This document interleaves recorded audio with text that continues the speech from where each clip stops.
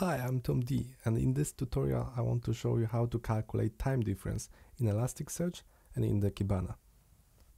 To make it working, I will show you how to use runtime fields, both as a search queries and as index mapping. First activity is to start Elasticsearch and start Kibana. So start from creating the Kibana network and run Elasticsearch container. Once this container is up and running, open another window on another terminal and run Kibana. You need standard output to be visible because it will be later on used for authentication purpose, so keep it open. Now, in another window, run command to reset Elasticsearch password and set up password as you wish. Once it's done, create an enrollment token for Kibana. Open a Kibana in a web browser and paste that enrollment token over there. Click on Configure Elastic. Now, switch to Kibana standard output, copy verification code and place it here verify. Now Kibana is up and running, so you can log in using the Elastic username and your password. Kibana is started and configured with Elasticsearch. As a test data, I prepared for you two examples. First is skyscrapers, which contain fields building name, start construction, and end construction. Building name is a text type, and start and end construction is a data type. Second example is ETL jobs index name, which will have job name, start execution, and end execution fields. Start and end execution fields have nanosecond precision. Open up Postman and create put request. Here specify the name of the index, which is skyscrapers, skyscrapers, and put your credentials, Elastic and your created password. Switch to body section, raw, JSON, and here specify your mapping settings, as I show you already. So those three fields will be created in the index. Index is created, index mapping is created, and now to obtain that, mapping definition, switch to sorry, switch to the get and run this query again. And you can see that the mapping definition is there already. So now it's time to populate that index with the data. Switch to the post, raw, slash, underscore bulk as a bulk load. Now put your data here and remember to leave one empty line at the end. Send the request and to check if data is there, switch from bulk to search API request. Now you can see the data is there. Time to create another mapping for another index, which will be ETL jobs. So switch to put raw and here specify your index mapping. Now switch to the bulk, place your data, leave last line as an empty line and run that query. Data is created. To confirm, type search, switch to the get none and send it. Data is there.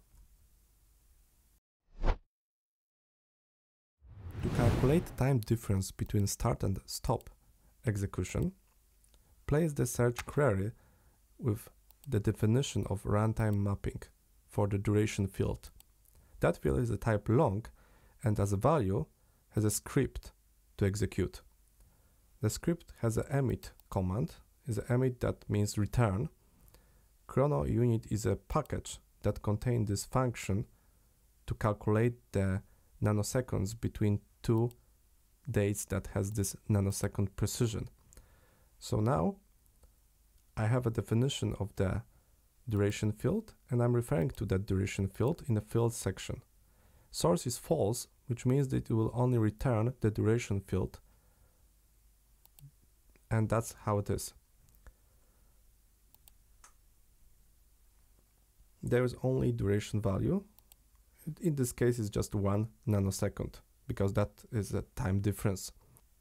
Now, if you want to check how the mapping is looking like, go to the URL and change the search into the mapping.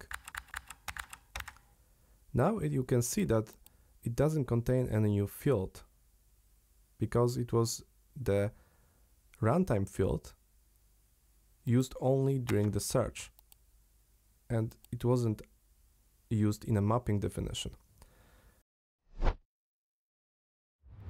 Another situation when you want to calculate the time difference can be in the data view.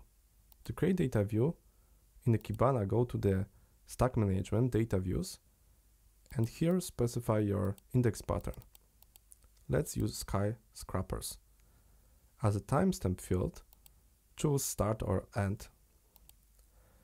And as a name, specify your data view name. Let's say sky scrappers. Create this data view. Now in this data view, you can create new field. So click on that and set value. Type will be long because that's the return value that I'm expected. And name you can specify building uh, building years. As a script, you are using exactly the same definition that you used before in example when you search the data. So there is uh, two variables specified, start and end, and there is one more variable of a long type that will hold the difference in nanosecond between those two years. Now save it, and you can see there is a new runtime field in the data view definition. To see how it works, go to the discovery and here you need to change the date because I used here long back um, events. So years uh, will be let's say 58 years. Maybe 58 years it's enough. 59 and years ago. So it will cover that periods now you can see the list of the documents, I will modify the, the view to be more visible, the building years column. And here one more field can be added like end construction. So you see the result, the building years, which is the time difference between the two other columns. Now when you go to the mapping definition, it's an intact no changes in the mapping. So it's only kept in the data view definition. And now last example, you will update mapping definition. This is exactly same painless script that was used in the previous two examples, which now right now is put as a mapping definition.